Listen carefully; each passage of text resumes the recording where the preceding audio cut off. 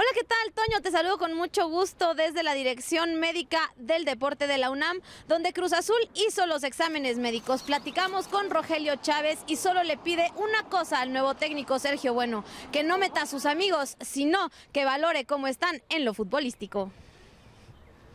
Yo creo que, que tienen que jugar los que anden mejor. Pasó muchos torneos que jugaban, eh, a lo mejor los que sea mejor profe, no sé, pero bueno, al último el mal se le hizo al equipo y ahora tenemos que entender que, que tienen que jugar y eso viene del entrenador.